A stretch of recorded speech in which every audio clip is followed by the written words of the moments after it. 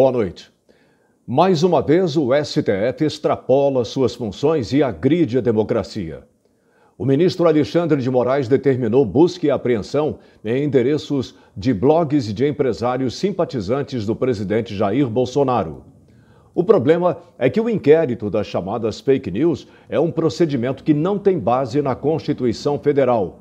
Hoje, o Instante News.1 publicou um vídeo sobre o assunto que vamos reproduzir agora.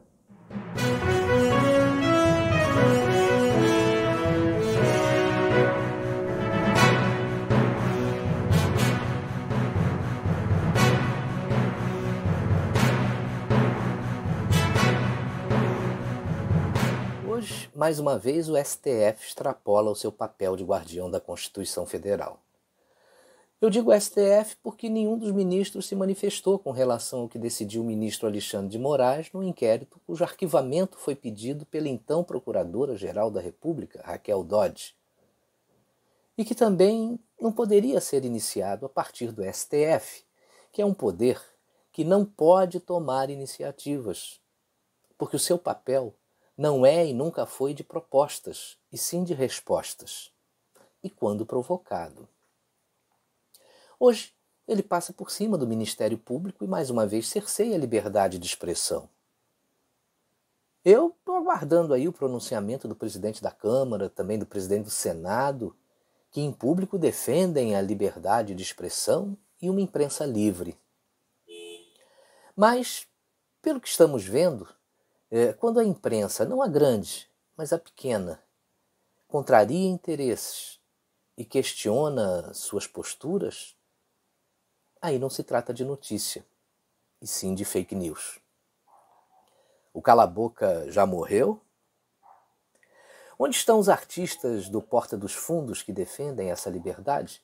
mas não falam nada quando a Polícia Federal invade o apartamento de um artista que faz músicas satirizando a nossa Corte Suprema.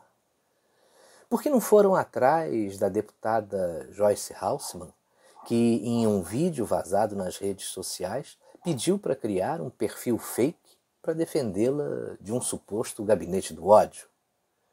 Onde estão os jornalistas da Cruzoé, que foi vítima de arbitrariedade igual e agora não defende os canais que saíram em sua defesa na época.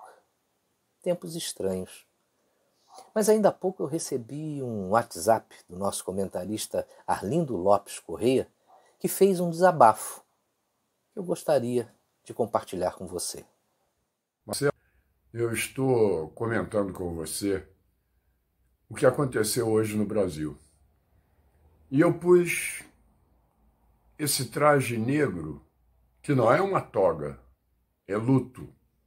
Luto pela toga, pela decisão monocrática da toga. Uma decisão que fere todos os princípios de legalidade. Quem investiga não julga, e quem julga não investiga. É o primeiro erro. O segundo é eu faço um comentário de um engenheiro que estudou estatística.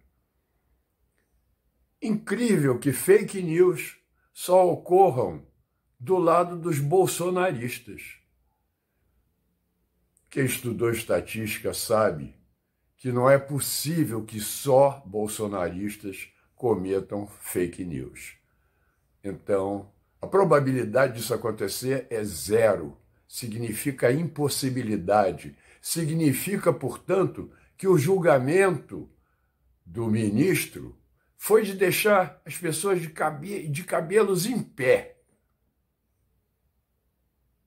Não sei se todos do STF vão ficar de cabelos em pé, mas eu fiquei, porque, na verdade, não só indo na casa dos bolsonaristas e seus parentes o ministro do Supremo Tribunal Federal cometeu uma ação política que não cabe ao STF. E eu poderia enumerar muitas outras razões para dizer que hoje todos estamos de luto pela toga. é o luto da toga, da liberdade, é o enterro da liberdade de expressão no Brasil. O inquérito sobre as fake news foi determinado pelo presidente do STF, o ministro Dias Toffoli, e o ministro Alexandre de Moraes foi escolhido para conduzi-lo sem que houvesse o sorteio habitual. Porém, o STF não poderia ter tomado tal iniciativa porque esse não é o seu papel. O jurista Ives Gandra Martins tem feito duras críticas à corte em virtude dos abusos que estão sendo cometidos como disse o comentarista Arlindo Lopes Correia, quem julga não investiga e quem investiga não julga. Vamos ver o que aconteceu na residência do site do dono do site Terça Livre. Ameaça em que sentido? Porque o que eu posso fazer com o ministro da STF? Rir da cara dele? Se isso é uma ameaça, é, isso prova mais ainda que nós não estamos numa democracia. Eu vou continuar rindo dos ministros da STF. Eu vou continuar rindo porque isso é patético eu vou continuar rindo da cara deles. Alan, eles, imprensa... não podem, eles não podem me colocar atrás das grades por rir da cara deles. Eu vou ah. continuar rindo deles. Alan, a imprensa tem falado que você tem publicado fake news. É, não prova que uma, que né? não prova nenhuma. Eu quero que prove uma notícia falsa que nós publicamos. A notícia que nós noticiamos do, do encontro do Miguel, Miguel Migalhas, do Barroso, do Davi e do, do, e do Maia, na QL4, na segunda-feira, sem ser essa agora que passou, eu quero que prove que isso é mentira. Eu quero que o Alexandre Moraes prove que é mentira que ele conversou no telefone com o Barroso, falando pro. O Alexandre Moraes falou pro Barroso que ele, ele precisava de contar com a Joyce Cássima, e aí o Barroso disse que não, que ela não era confiável. E aí depois o Alexandre Moraes falou que era para ele procurar o Maia. E aí ele disse, não, eu não vou procurar. E o Alexandre Moraes falou assim, não, eu vou pessoalmente. Então eu vou pessoalmente. Eu quero que prove que isso é mentira. Quero que prove. Alan, hoje o Supremo ele fala que está sendo atacado. É, é, a instituição está sendo atacada. Na verdade, é a atual composição que não. Não, não tem, não tem nenhuma instituição sendo atacada. Porque para uma instituição ser atacada, você tem que ter um grupo armado querendo fazer algum tipo de revolução, coisa do tipo. Que é o que se ensina nas universidades hoje no Brasil, né? os grupos socialistas, os grupos revolucionários, eles ensinam isso. A direita só quer apenas que a lei seja respeitada. E até agora não tem nada disso. Então, que tipo de ameaça o STF está sofrendo? Então, então, o maior jurista do Brasil, Dr. Ives Granda Martins, então está ameaçando a Suprema Corte quando ele diz que existe um, um, um, dispositivo constitucional, que é o artigo 144, que é nele que, que reside o poder moderador. Então, doutor, alguém, alguém diria. E se eles têm coragem de falar que o doutor Ives Granda Martins está colocando o STF em ameaça? Eles não têm. E as reações às determinações do ministro Alexandre de Moraes foram muitas na internet. Rodrigo Constantino. Se Bolsonaro controla a PF, por que ela bateu a porta de bolsonaristas hoje cedo, a mando de um ministro do STF que toca um inquérito ilegal foi só para disfarçar, é? Ou a narrativa é patética, mas vale tudo para atacar o presidente? Deputada Cris Tonieto.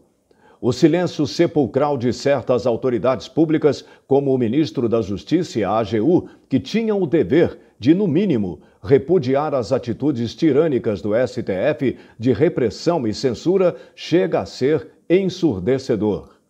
Deputado Carlos Jordi, Acabei de protocolar o pedido de impeachment do ministro Alexandre de Moraes por sua censura absurda com um inquérito inconstitucional e perseguição contra opositores. Assinamos eu e Bia Kisses, Cabo Júnior Amaral e Felipe Barros. Pressionem Alcolumbre para pautar o pedido. Roberto Jefferson. Quem tem legitimidade para governar em nome do povo é o presidente Jair Bolsonaro, eleito pelo voto de 58 milhões de brasileiros. Todo o poder emana do povo. Os ministros do STF foram nomeados após indicação feita por partidos políticos. O presidente é eleito, o STF é nomeado. Bia Kisses Acabamos de dar entrada no Senado no pedido de impeachment do ministro Alexandre de Moraes. Autores do pedido: Bia Kisses, Carlos Jordi e Felipe Barros. Agora é preciso pressionar o presidente do Senado, Davi Alcolumbre. Leandro Ruschel.